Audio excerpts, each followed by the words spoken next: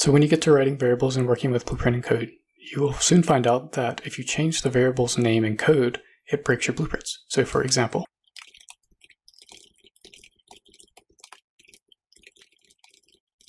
so I've created a, a blueprint accessible UProperty called refactor test old name. So if we can compile that, we can change the value, the default value in the blueprint. And so you can see here we have this refactor test old name. Let's set that to a memorable number like 999. All right. Let's say that we're refactoring in code and we want to change that name. So I've created this edit anywhere blueprint read write variable. It's called refactor test old name. And I've compiled that and we can change the value of this refactor test old name to something unique like 999. Now say hypothetically you were in the code and you were refactoring things and you wanted to change it to this new name. What we could do is use Visual Assist to refactor the name. And I will give it a new name and I'll click rename. Now sometimes Visual Assist can set up a redirector to help you with this, but in my case it failed here. And so I've saved this and I'm going to compile. And what we'll find is in the blueprint our value that was unique has been lost because the variable name changed. And so if I search for refactor test, it's back to one. So this could be really problematic when you have a lot of blueprint content and you're trying to refactoring. You can protect your content's data by using redirectors to let the engine know that a variable has a new name. So the way you do that is you take your variable's name and you go to your default engine INI.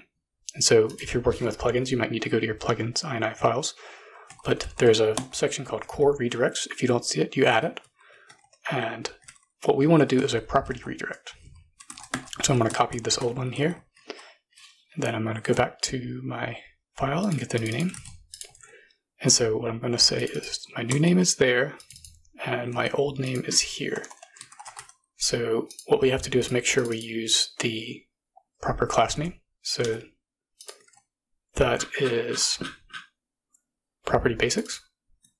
So if I copy that and go here and I type property basics, now note redirectors do not like the prefixes, so we need to remove the, the A prefix for actor. So delete that A.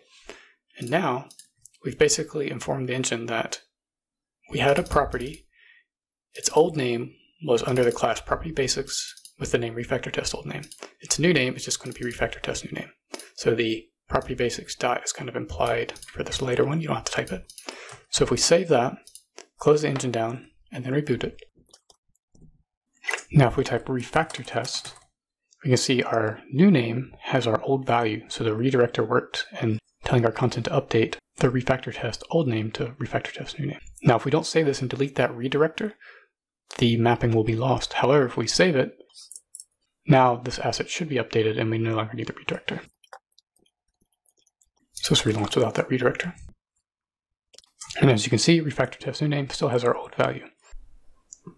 Note that you can set up redirectors for things other than properties like classes and enums and functions and all kinds of stuff.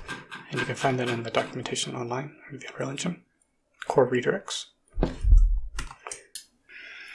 So that is the basics of UProperties. I hope that helped someone. Stay tuned for more, and until next time.